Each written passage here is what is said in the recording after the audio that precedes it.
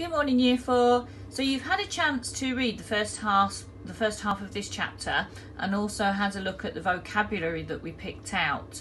Uh, some really good words there: tantalisingly, hazy, inexorably, and vestige. So some really powerful words for you uh, to have a chance to learn. What we're going to do today is we're going to look at the questions.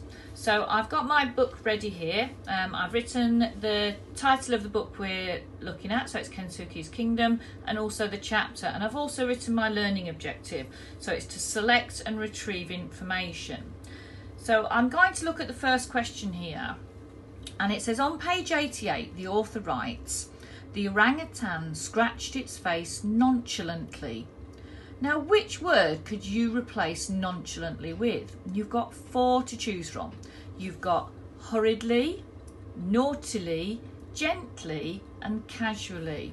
So you need to understand um, what the orangutan, how it's behaving in this part of the book, and you need to understand the meaning of those words. So I've just had a look at where it is on page 88. Okay, so if we get it here, so there we go. So this is when the orangutan sneaks up onto Michael.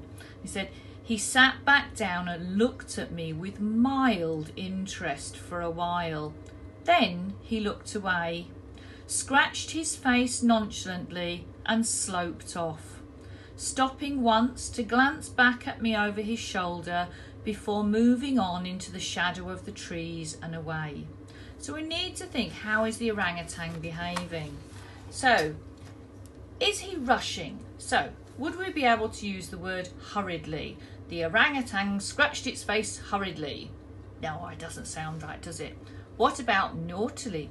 Is the orangutan behaving in a very naughty way? The orangutan scratched its face naughtily. No, I don't think that works either. What about gently?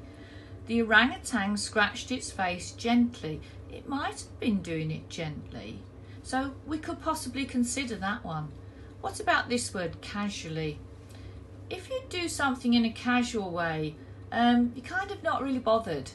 So if you're casual about something, you're not being proper, um, you're not being smart.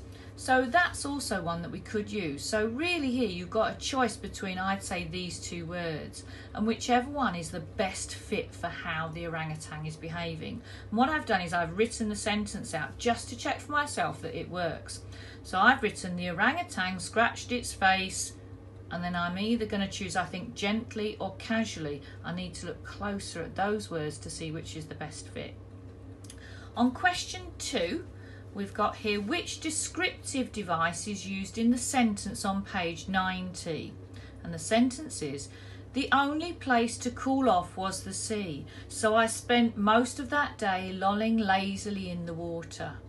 You've got three to choose from three answers. So is there a simile in that sentence?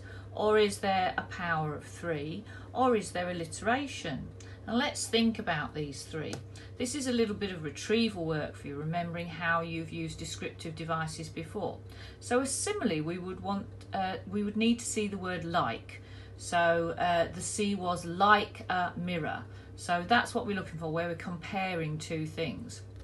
Our power of three, we're looking for three adjectives in there that we could use that could that are describing. So if we said the the sea was calm, blue, and cool. So we've got three words that were describing it. And when we look at alliteration, we're looking for two words uh, that follow each other which start with the same sound. So have another closer look at that sentence and see which one of those you think it is. And you only need to write a one word answer for that. Now question three is a little bit of prediction from you. So what danger do you think the old man is warning Michael of? He tells him to get out of the sea. He's telling him there's danger. But what do you think the danger is? So that one is a little bit of prediction from you. See what you think Kensuke might be warning him of. Okay, if you have any trouble with any of the questions, please message. We're happy to help and we'll help you to find your answers as well. All right, good luck.